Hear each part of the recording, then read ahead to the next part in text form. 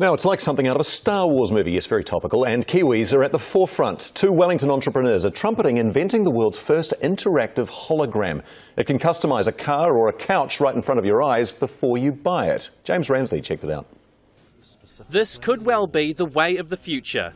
Holographic images that people can change with the click of a button. If you were to go to a car dealership, you can literally play with a holographic car. You can change the colours, change the wheels, um, basically build out your car the, the way that you ideally want it. Yeah. It's the brainchild of Neville Rodder and Chris Mather, who joined forces at this creative hub in downtown Wellington. So we showed it for the first time at our office Christmas party, and people went absolutely nuts and started taking pictures with it. The duo knew they were onto something, so spent the next four weeks tweaking their prototype for today's big launch. We're sleep deprived.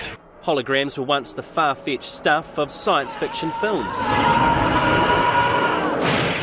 Until recent years, when we started seeing some of music's biggest names brought back to life. The King of Pop making a special appearance at last year's Billboard Music Awards. Even the news is doing it. Let's see if we can uh, beam him in now.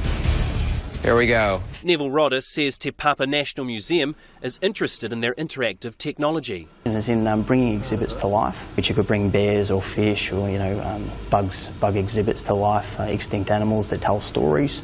We see storytelling being a huge part of this as an education tool.